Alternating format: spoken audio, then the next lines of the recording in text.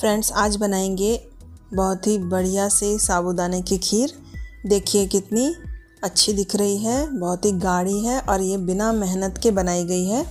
तो फ्रेंड्स, आज के वीडियो में साबूदाने की खीर की बहुत ही आसान सी रेसिपी शेयर करने जा रही हूँ। तो फ्रेंड्स, आप देख सकते हैं ये कितनी गाढ़ी और मलाईदार बनी हुई है और इतनी गाढ़ी साबूदाने की खीर बनाने के लिए बहुत कम मेहनत में आज आपके लिए रेसिपी लेकर आई हूँ।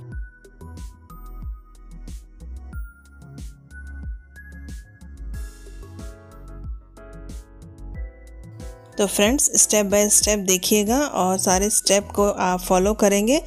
तो आपकी जो साबुदाने की खीर है, वो भी इतनी बढ़िया बनकर तैयार होगी। तो फ्रेंड्स, चलिए देखते हैं इसे कैसे बनाते हैं। तो इसे बनाने के लिए मैंने लगभग 100 ग्राम के करीब साबुदाने को भिगो दिया था। तो एक बार आप पानी से इसे धो लें और दो घंटे के लिए इसे भिगो दें। और यहाँ पर हमें एक लीटर दूध ले लेना है और इसके अलावा चीनी लेनी है तो दो बड़े चम्मच चीनी मैं लूँगी। और यहाँ पर मैंने कुछ ड्राई फ्रूट ले लिए हैं, जिसमें मैंने यहाँ पर पिस्ता, काजू और तीन से चार इलायची के दाने निकाल लिए हैं और कुछ केसर के धागे ले लिए हैं। और चीनी यहाँ पर मैंने दो बड़े चम्मच ले लिया है।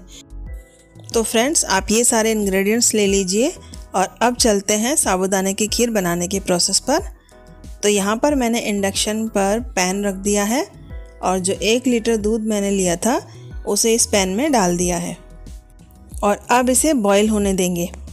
तो फ्रेंड्स, दूध को हमें हाई फ्लेम पर बॉईल होने देना है और दो से तीन उबाल आने पर मैं यहाँ डाल दूँगी केसर और इलायची। दो से तीन छोटी इलायची के दाने आप निकाल लीजिए और 10 से 15 केसर के धागे भी आप इसके अंदर डाल दीजिए।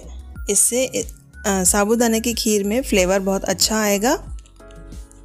और अब इसमें पाँच से छः उबाल आने देंगे और हाई फ्लेम पर इसे पकने देंगे। तो फ्रेंड्स, पाँच से छः उबाल आने के बाद जो साबूदाने मैंने भिगो कर रखे थे, उसका पानी निकाल कर इसमें डाल दूँगी। तो आप देख सकते हैं, यहाँ पर मैंने साबूदाने इसके अंदर डाल दिए हैं। और दो घंटे जो हमने साबूदाने भिगोए हैं तो अच्छे से फूल कर तैयार हो गए हैं। और अब हमें साबूदाने डालने के बाद फ्लेम को लो कर देना है। तो फ्रेंड्स, ध्यान रखें कि जैसे ही हम दूध के अंदर साबूदाने डालेंगे, हमें फ्लेम को मीडियम या लो कर देना है, हाई नहीं रखना है। और इस तरह से आप देख सकते हैं कि धीरे धीरे साबुदाने इसके अंदर और भी बड़े होते जा रहे हैं। तो फ्रेंड्स, एक इंपॉर्टेंट स्टेप यही है कि जैसे ही आप इसके अंदर साबुदाने डालेंगे तो फ्लेम को आप मीडियम या लो कर दें। फ्लेम को हाई ना रखें, नहीं तो जो साबुदाने हैं, वो तले में चिपक जाएँगे। तो आप देख सकते हैं कि धीरे धीरे जो साबुदाने हैं और भी फूलते जा रहे हैं। तो फ्रेंड्स, दो से तीन उबाल आने के बाद इसमें हम दो बड़े चम्मच चीनी के डाल देंगे। और चीनी आप अपने टेस्ट के अकॉर्डिंग कम ज़्यादा कर सकते हैं। अगर आपको ज़्यादा पसंद है तो आप ज़्यादा भी ऐड कर सकते हैं। तो यहाँ पर दो से तीन उबाल आते ही मैं फ्लेम को ऑफ़ कर दूँगी और इसे ठंडा होने के लिए रख दूँगी।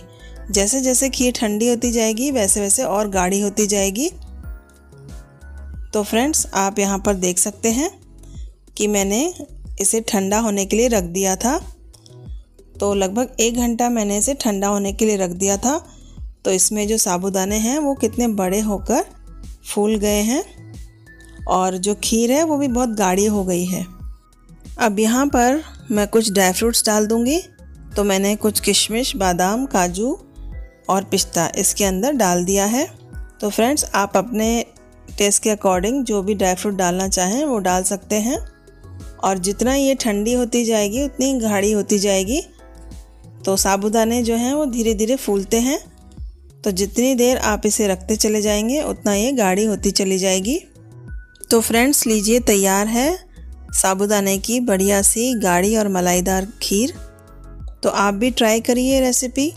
और एक बात का विशेष ध्यान रखें कि जब आप साबुदाने डालें, तब फ्लेम को मीडियम या लो कर दें और उसे बीच बीच में चलाते रहें, जिससे कि साबुदाने तले पे ना लगे। जब आप साबुदाने दूध के अंदर डालें तो उसके बाद हमें इसे ज़्यादा नहीं पकाना है। केवल तीन से चार मिनट तक आप इसे पका सकते हैं, उससे ज़्यादा आप ना पकाएँ। और उसके बाद जितना आप इसे ठंडा करने रखेंगे, उतने ही दाने फूलते जाएँगे और खीर गाढ़ी होती जाएगी। फ्रेंड्स इन टिप्स और ट्रिक्स के साथ आप साबुदाने की खीर बनाएँगे। तो आपकी जो साबुदाने की खीर है, वो पहले से बहुत अच्छी बनेगी। आपने शायद ही इन टिप्स और ट्रिक्स का इस्तेमाल किया होगा। तो आज मेरी तरीके से एक बार बना कर देखिए। आपको ये तरीका बहुत ही अच्छा लगेगा। और इस तरह से ये जो खीर बनती है, बहुत ही स्वादिष्ट बनती है। और एक बार बनाकर आप इसे फ्रिज में स्टोर कर सकते हैं।